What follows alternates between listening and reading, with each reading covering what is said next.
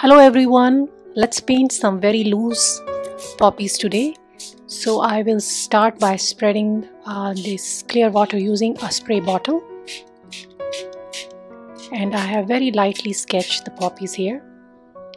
So this is going to be a very wet painting, so I would suggest using at least 300 GSM uh, weight paper here. So now I'll start adding the color and this is uh, the red color Pyrrole Scarlet and some pink which is uh, Rose. And this is uh, the right now the paper is quite wet because we uh, sprayed a lot of water here. So the color will flow in all directions and we loosely form the shape of uh, the flower. And I'm just tilting it so the water flows in uh, all directions and then a lot of splashes.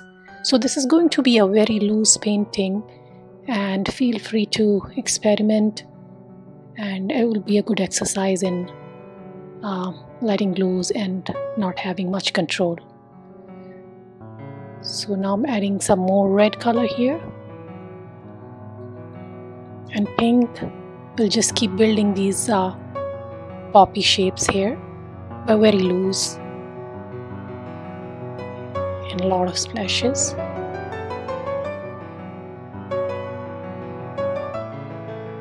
I'm adding some more water here and then picking up some places where there was a lot of pooling.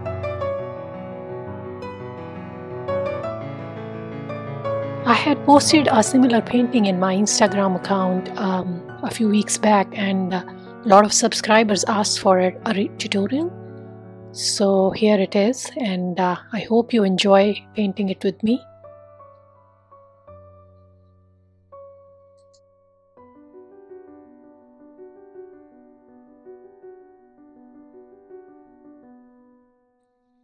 And hopefully you'll like it. It's a, uh, it's a good exercise for everyone to just let loose. So now I'm adding uh, these uh, poppy flower buds here. And I'm using a dark green color here. So for this I decided to use undersea green. Uh, but uh, you can take any of your uh, green colors and make it more darker by adding uh, some dark blue to it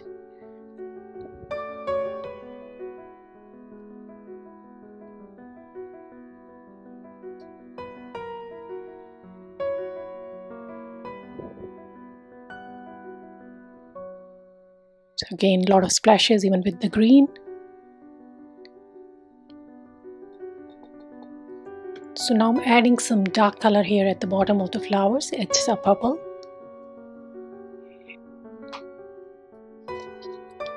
Spraying some more water here.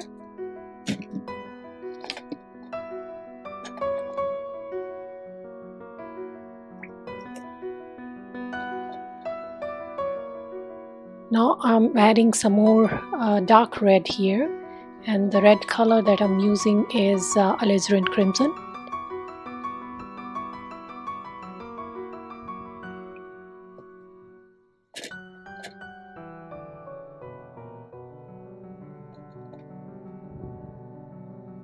adding some more yellow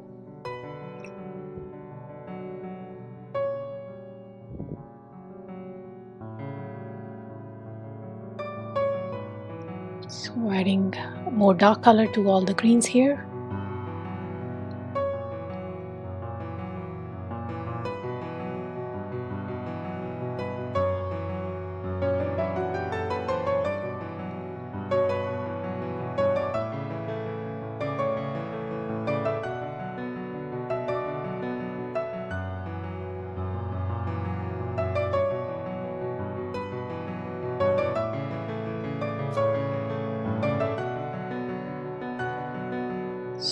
So I'm adding another flower bud here.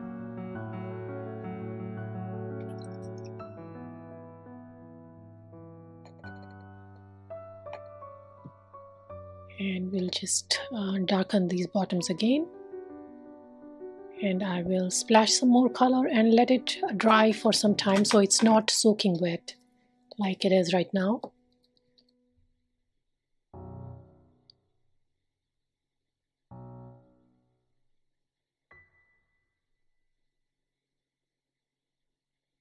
Uh, so now the paper is a little bit dry. It's still wet. Uh, I mean, if you touch it, it, the paper is still damp. So the color will still spread here. So I'm adding all this uh, dark green again.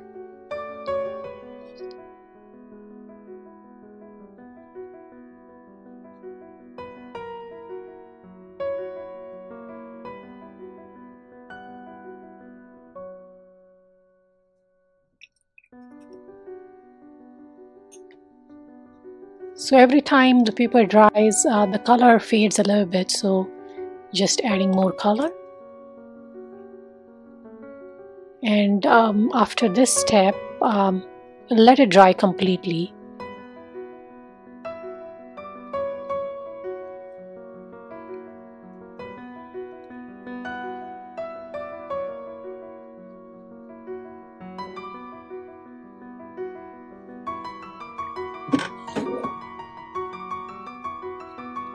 So now the paper is completely dried and I'll start adding some more color here. So I'll start with the Pyrrole Scarlet and uh, shape the poppies.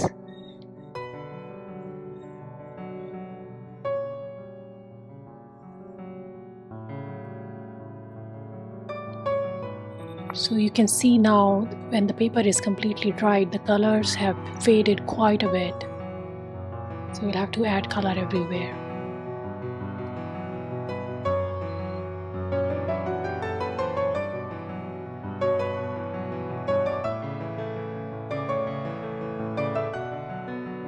Add some yellow also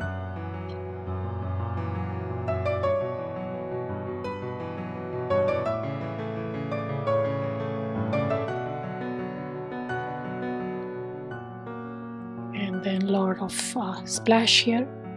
So here in this painting actually there's a lot of uh, uh, the shapes are created by these splashes also. So feel free to splash as much as you want. And now I'm adding some darker color which is uh, the alizarin crimson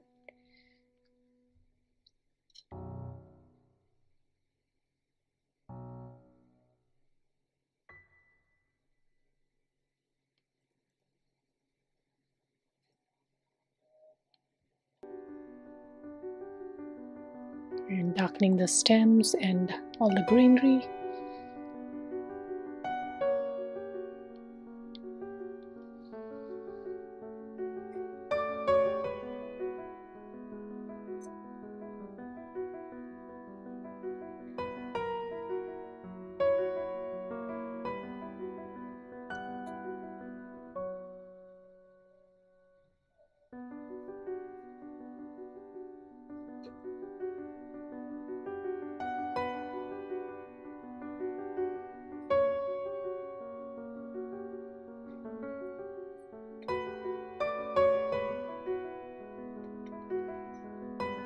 adding some more purple color at the bottom. These flowers to darken them. At the base.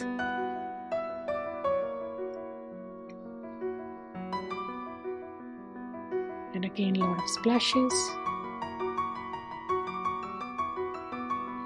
And we'll let it dry one more time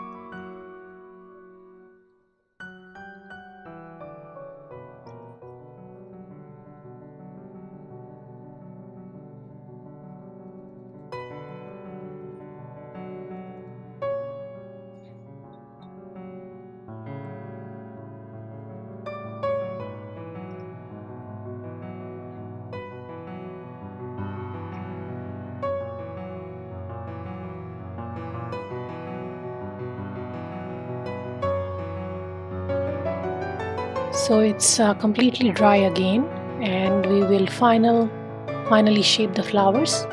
So I will use almost like a dry brush here with some uh, dark color in it.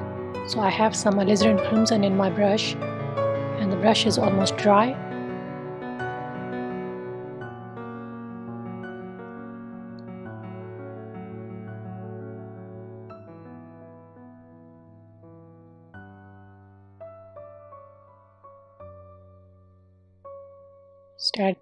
so now we will finish it by adding more splashes everywhere and uh, this is all done and I hope you enjoyed painting this uh, with me and uh, experimenting with this really loose painting and I hope you liked it. Thank you.